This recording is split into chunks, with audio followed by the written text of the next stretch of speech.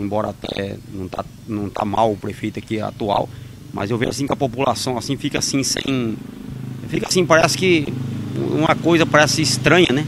Uma coisa chata. Eu acharia que tinha que ter opção para o povo mesmo, né? E a técnica eleitoral explica: se o candidato obtiver apenas um voto, estará eleito. Um voto válido